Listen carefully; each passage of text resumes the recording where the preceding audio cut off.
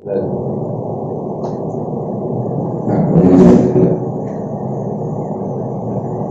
त्या दिवशी पाहिलं काय असते कंप्लीट स्क्वेअर मेथडच्या स्टेप्स मुख्य स्टेप्स कोणत्या आहेत तुम्हाला काही होमवर्क दिले दोन प्रॉब्लेम पहिलं पहिली स्टेप काय असते दिलेली equation A X square plus B X is equals to C फॉर्ममध्ये लिहावे दुसरी स्टेप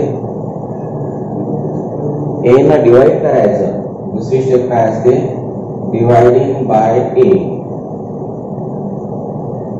तिसरी step one by two into coefficient of X पूर्ण ब्रॅकेटचा स्क्वेअर ऍड करायचं one upon two coefficient of X into coefficient of X ब्रॅकेटचा square add करायचं चौथी आणि पाचवी टेक कंप्लीट स्क्वेअर आणि पाचवं फाईन रूट्स अशा मुख्य ह्या पाच स्टेप्स होत्या त्याच्यावर आधारित हे प्रॉब्लेम सॉल्व्ह करायचे होते पहिलं, दुसरं, तिसरं आणि याच्यावर आधारित दिले होते प्रॉब्लेम दिले होते दोन मला वाटतं तुम्हाला केले काय ते पहा आता चौथं प्रॉब्लेम यातलं चौथं problem nine Y square minus twelve Y plus 2 is equals to 0 is equals to 0 9y square minus 2y plus 2 is equals to 0 हे। आपल्याला ते इक्वेशन सॉल्व्ह करायचं आहे कोणत्या मेथडनं बाय कंप्लीट स्क्वेअर मेथड कोणती मेथड आहे बाय कंप्लीट स्क्वेअर मेथड कोणती किती एकोणतीस नाही।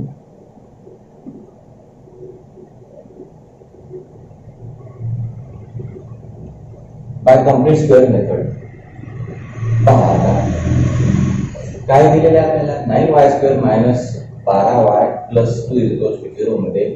पहिली स्टेप काय आहे? दिलेली equation A square plus B X is equals to C मध्ये. आहे काय इज इक्वल्स टू नाही मग पहिली स्टेप पक्षांतर करा दोनचं. Nine Y square minus twelve Y is equals to minus two पहिली स्टेप कंप्लीट झाली. दुसरी स्टेप डिवायडिंग बाय ए इथे ए कोणता आहे? वाय स्क्वेअर स्क्वेअरच्या टर्मच्या कोएफिशियंटला ए म्हणतात. व्हेरिएबलच्या कोएफिशियंटला बी म्हणतात आणि कॉन्स्टंट टर्मला सी म्हणतात. मग आपल्याला कोणत्या लिहितात ए म्हणजे किती? नाईन म्हणून दुसरी स्टेप आता पहिल्यांदा दुसरी स्टेप करून राहिलो आपण.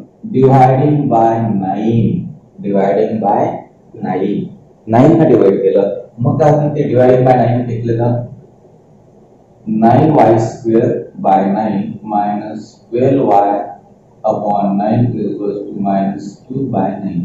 नऊ नऊ कटले y square minus तीन त्रिक नऊ तीन चूक बारा तीन त्रिक नऊ तीन चूक बारा minus 4y upon 3 is equals to minus 9 by y.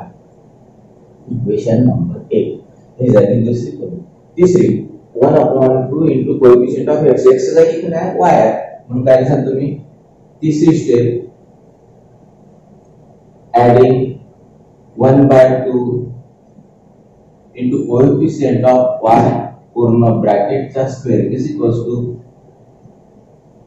1 by 2 into 4 by 3 पूर्ण ब्रॅकेटचा स्क्वेअर येतो व्हॅल्यू चार दोन अपॉन तीन म्हणजे किती चार upon nine on both sides four by nine कसे घेतले डबल येतात one by two into coefficient of Y पूर्ण फॉर्म्युला ह्या तीन स्टेप मेन आहेत चार आणि पाच त्याच्यातले येतात पहिली स्टेप दिलेली equation A X square plus B X equal to C form मध्ये लिहिले दुसरी स्टेप डिवायडिंग बाय नाईन म्हणजे ए न डिवाइड करायचं म्हणून इथं नऊ आहे डिवायडिंग बाय नाईन हे झाले इक्वेशन नंबर एक आता ऍडिंग ऍडिंग मध्ये काय असते one by two into coefficient of Y एक अपॉन वन इंटू चार अपॉन तीन डिवायडेड केलं उत्तर टू बाय थ्रीचा स्क्वेअर म्हणजे four by nine on both side हे दोन्ही किमती इथे ऍड करायचे आता इथं नका ऍड करू इथं नका ऍड करू डायरेक्ट त्याच्यासाठी इक्वेशन एक लिहिलं इन इक्वेशन वन काय आहे मग त्याचे Y square minus four by three Y plus four by nine is equals to minus two by nine plus four by nine हा कंप्लीट स्क्वेअर आहे म्हणजे आहेच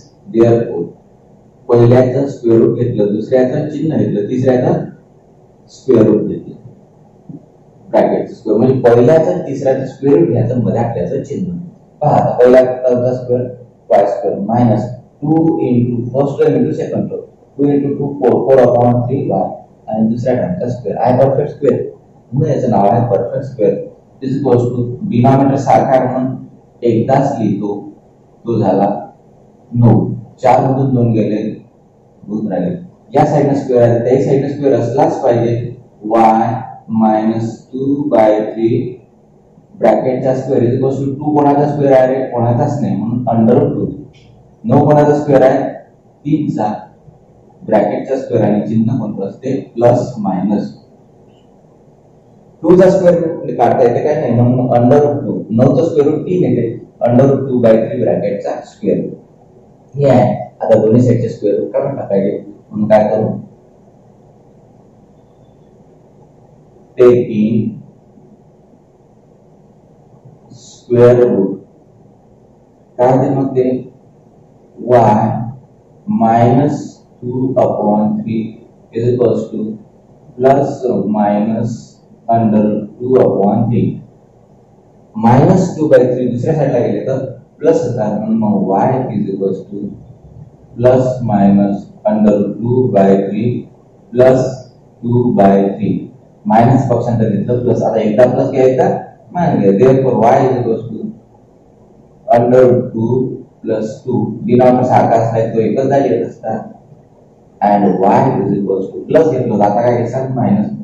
Minus under 2 plus 2 upon 3 therefore 2 plus under root 2 upon 3 राहू दे असंच राहू दे and minus under root 2 plus 2 upon 3 are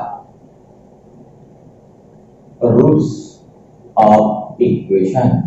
झाले इक्वेशनचे roots तयार झाले taking square root मध्ये लक्षात घ्या आता काय घेतलं आपण एवढं तर Y minus square root square root तयार केलं म्हणून टेकिंग स्क्वेअर रूट मग काय झालं? Y minus two by three square काय झाला प्लस मायनस प्लस मायनस इकडे मायनस आहे. दुसऱ्या साईडला गेले तर प्लस झाले.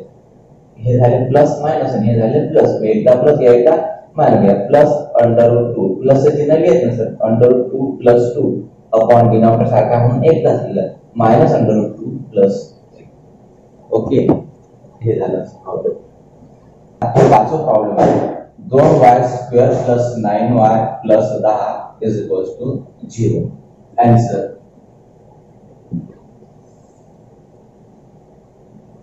पहिली स्टेप काय असते इज़ इक्वल्स टू सी मिळाला इथे सी ची किंमत कोणती आहे सी ची व्हॅल्यू कोणती आहे टेन म्हणून मग प्लस दहाचं पक्षांतर काय होतं मायनस दहा काय म्हणून सांगा पहिली स्टेप दोन Y square plus nine Y is equals to minus दहा कम्पेअर करायचं आणि टीचिंग करत असताना स्वतः म्हणायचं कसं कोणत्या फॉर्म मध्ये आणलं या फॉर्म मध्ये. मग काय करायचं? त्याचा कम्पेअर केलं तर प्लस दहा आहे. दुसऱ्या साईडला गेले मायनस दहा. पहिली स्टेप कंप्लीट झाली दुसरी स्टेप काय आहे by A dividing by A इथे ए म्हणजे कोण आहे? हे इथे ए म्हणजे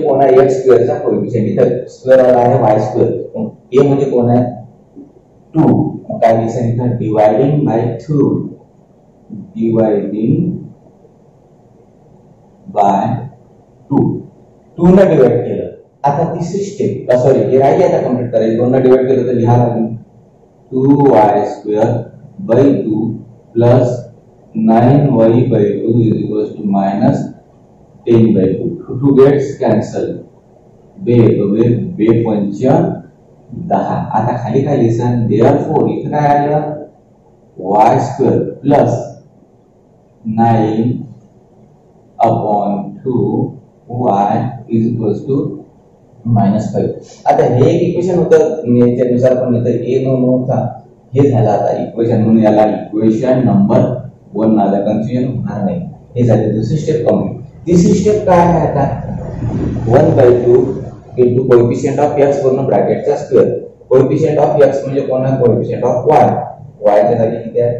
नऊ अपॉन दोन मग काय लिहिसान तुम्ही?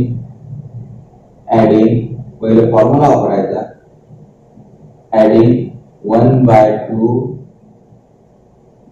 into coefficient of y पूर्ण ब्रॅकेटचा स्क्वेअर इज़ इक्वल्स टू काय सांगा? One by two into coefficient of y म्हणजे किती?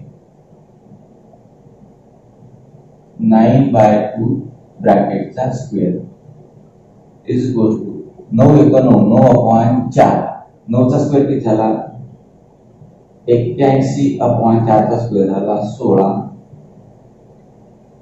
ऑन बोथ साइड पहा, नऊ एक नऊ नऊचा स्क्वेअर एक्क्याऐंशी टू टूचा फोर चारचा स्क्वेअर सोळा. एक्क्याऐंशी अपॉन सोळा on both sides of equation one equation वनच्या दोन्ही साईडला ही किंमत ऍड केली मग काय होते ते वाय स्क्वेअर दुसऱ्याचं सॉरी पहिले ऍड केले y square plus two nine y by two plus eighty one upon sixteen is equals to इथं काय ते मायनस पाच प्लस एक्क्याऐंशी अपॉन सोळा आता काय करायचं? हे कंप्लीट स्क्वेअर मध्ये घ्यायचा. मग पहिली संख्या घेतली. दुसऱ्याचं चिन्ह घेतलं. तिसऱ्याचं स्क्वेअर नाईन अपॉन फोर पूर्ण ब्रॅकेटचा स्क्वेअर याला सिम्प्लिफाय करू लागेल? याला डिनॉमिनेटर नाही म्हणजे एक. मायनस चिन्ह. सोळा पंच ऐंशी प्लस एक्क्याऐंशी एक. एक्क्याऐंशी अपॉन सोळा. आता अजून एक स्टेप घ्यावं लागेल. Therefore y plus nine by four ब्रॅकेटचा square एक्क्याऐंशी मधून एक गेले ऐंशी गेले एक राहिला आणि सोळा कोणाचा स्क्वेअर आहे? चारचा. पूर्ण ब्रॅकेटचा स्क्वेअर पण चिन्ह काय लिहितो आपण? प्लस मायनस दोन्ही साईडचे स्क्वेअर आहे तुम्हाला दिसणार आहे म्हणून खाली लिहित नाही. वर तुम्ही त्याच्या खालीच लिहायचं taking square root taking square मग स्क्वेअर रूट घेतले तर काय होते? Y plus nine by four is equals to plus minus one by four plus आहे दुसऱ्या साईडला गेले मायनस झाले y is equals to plus minus one by four minus nine by four आता डिनॉमिनेटर सारखा म्हणून मागच्या सारखंच होईल एकदा प्लस घ्यायचा एकदा मायनस घ्यायचा मग काय करतो one minus nine upon four or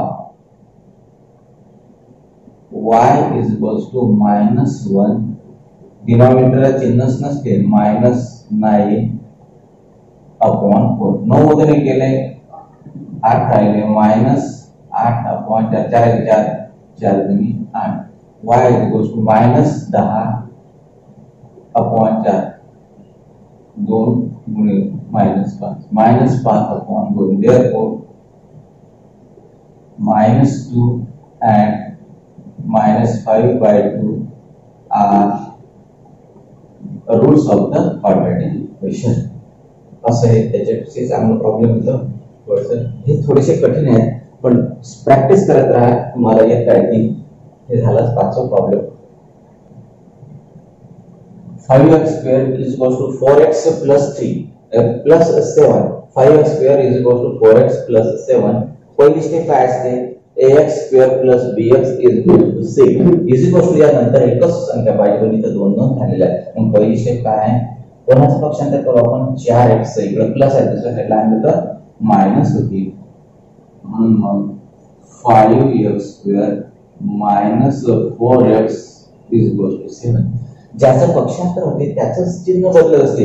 इथं प्लस आहे दुसऱ्या साईडला आणले तर मायनस आहे प्लस पक्षांतर काय होते? मायनस प्लस साईन बदलत होतं काय होते? मायनस होते म्हणून मग five x square minus four x equal to seven पहिली स्टेप कंप्लीट झाली डिवायडिंग बाय फाईव्ह आता इथे ए म्हणजे कोण आहे five dividing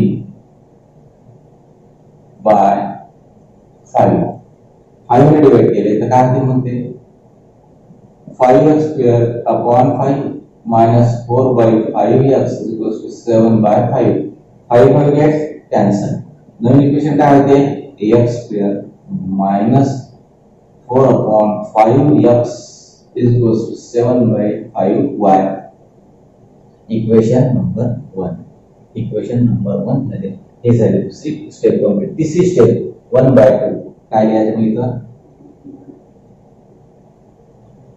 adding 1 by 2 into coefficient of x पूर्ण ब्रॅकेटच्या स्क्वेअर ऑन बोथ साइड दोन्ही साईडला किंमत ऍड केली मग काय होईल ते is equals to one by two ते स्टेप वाढते म्हणून ते कॅन्सल करायचे फोर अपॉन फाईव्ह पूर्ण ब्रॅकेटचा square two one two two two जा फोर टू अपॉन फाईव्ह म्हणजेच किती झाले ते चार दोनचा स्क्वेअर चार आणि पाचचा स्क्वेअर पंचवीस ऑन बोथ साइड्स दोन्ही साईडला चार अपॉन पंचवीस किंमत ऍड केली. दोन्ही साईडला चार upon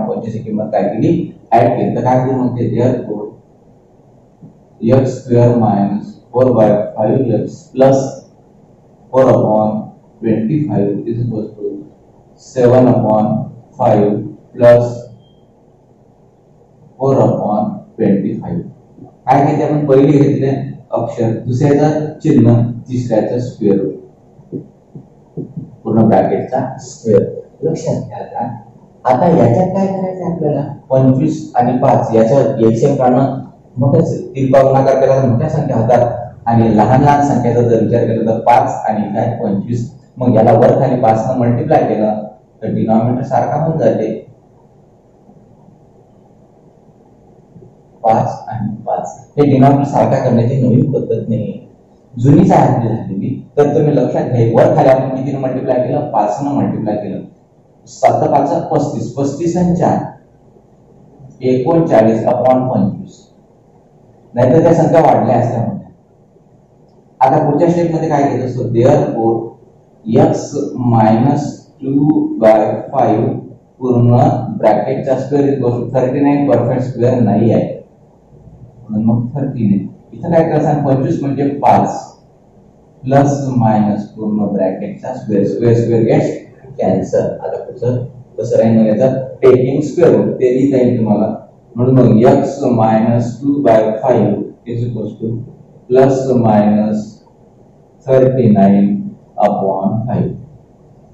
Minus आहे दुसऱ्या साईडला गेले तर प्लस राहिली plus plus minus under root 39 upon 5 plus 2 by 5 x is equals to under root 39 plus 2 upon 5 or x is equals to minus 39 upon 5 plus 2 upon 5. Denominator has like to equal the म्हणजे काय दिसान तुम्ही? Plus two upon five खाली काय छान solution set roots roots ही गोष्ट या दोन्हीचा. रूट्स लिहायचा. एवढा हे करायचं. ठीक आहे. कोणती झाली. फॉर्म्युला मेथड नवीन मेथड कोणती आहे? फॉर्म्युला मेथड नाही आहे जुन्या पुस्तकामध्ये ते सवर पुढेच दाखवलेली होती. फॉर्म्युला मेथड पहा. फॉर्म्युला मेथड म्हणजे काय असते आपल्याला माहित आहे की स्टँडर्ड क्वाड्रेटिक फॉर्म काय plus b x plus c is equals to zero a equation hey equation याच्यापासून मेथड कशी काढतात? म्हणजे आपण पाहिलं इक्वेशन मध्ये किती सोल्युशन असतात? दोन रूट्स असतात. त्याला रूट्स दोन रूट्स मग याच्यात किती रूट्स राहतील दोन रूट्स असतातच. क्वाड्रॅटिक इक्वेशनमध्ये. ते कोणते कोणते रूट्स असतात? पहा. याच्यासाठी फॉर्म्युला आहे.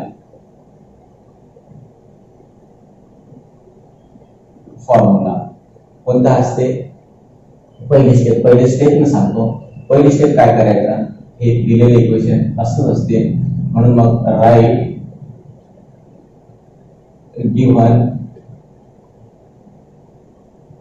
equation in ax square plus bx plus c is equal to zero form कधी असं दिले सर मागच्या याच्यात पाहिलं कधी तिकडून दिलेलं असते इकडून दिलेलं असते. आता पहा जे आपण कंप्लीट स्क्वेअर मेथडमध्ये पाहिलं आणि याच्यात पाहिलं याच्यामध्ये फरक आहे. इकडे सर्व साईड एका साईडला असतात त्याला स्टँडर्ड फॉर्म म्हणतात. म्हणजे फॉर्म्युला मेथड म्हणजे हा स्टँडर्ड वाला आहे.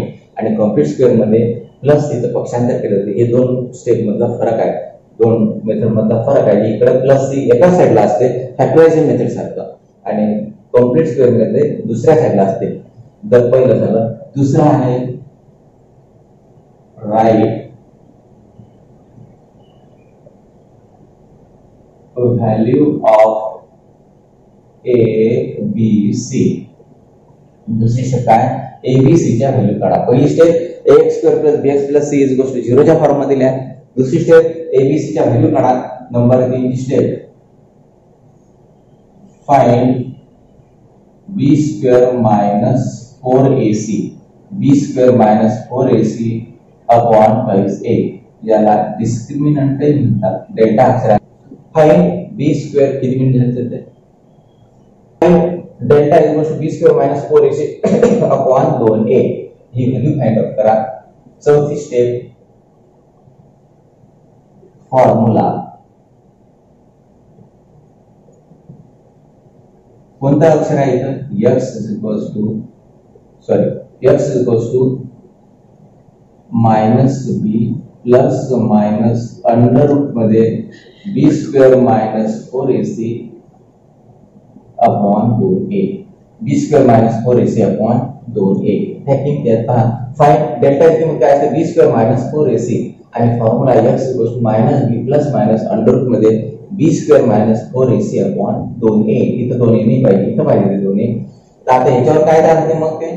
That is x1 is equals to minus b plus under root मध्ये b square minus 4ac upon 2a and x2 is equals to minus b minus b square minus 4ac upon 2 हे नाही लिहायचे याच्यावरच दोन minute झालं अशा ह्या चार स्टेप कंप्लीट करायच्या पहा पहिली स्टेप काय दिलेले इक्वेशन आहे ax square plus bx plus c is equals to 0 च्या फॉर्म मध्ये लिहायचे दुसरे स्टेप आहे एबीसी च्या किमती काढायच्या तिसरी स्टेप डिस्क्रिमिनंट म्हणतात त्याला b square minus four ac ची व्हॅल्यू काढायची b square minus four ac ची व्हॅल्यू काढायची चौथी step x equal to minus b plus minus हा फॉर्म्युला आहे त्याला म्हणतात फॉर्म्युला याच्यात एकदा प्लस घ्यायचं एकदा मायनस घ्यायचं समजलं? चार स्टेप मध्ये आन्सर येते. वन वाय वन दिलेलं पहा, आता एक प्रॉब्लेम हे पाठ करता आहे steps formula method exercise two point four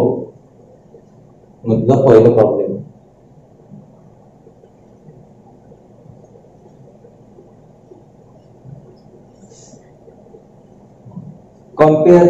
to point four याचा डायरेक्टली घेतलेला आता त्यांना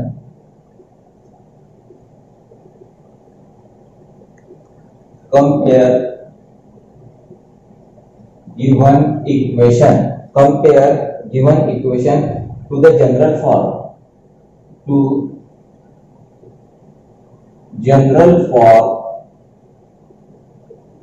find a b c पहा। पण ह्याच्यात त्यांना मनाची गरज घ्यायची गरज नाही. त्यांना स्टँडर्ड फॉर्ममध्ये दिलेलं आहे. पहिला प्रॉब्लेम आहे. पहिल्या प्रॉब्लेममध्ये एबीसीच्या किमती काढायच्या. नंबर एक चा गणित आहे x square minus seven x plus five is equal to zero general फॉर्मचं दुसरं नाव काय? आहे स्टँडर्ड फॉर्म जनरल फॉर्मचं दुसरं नाव काय? आहे स्टँडर्ड फॉर्म मग हे दिलेलं आहे सर काय करसाल तुम्ही? आन्सर एक्स स्क्वेअर मायनस सात x plus five is equal to zero hey given equation आहे a x square plus b x plus c is equal to zero for therefore संख्या नसली की असते a is equals to 1 b is equals to minus 7 c is equals to 5 झालंय काही कठीण आहे का एक मार्क्ससाठी येऊ शकते दुसरा प्रॉब्लेम दोन m square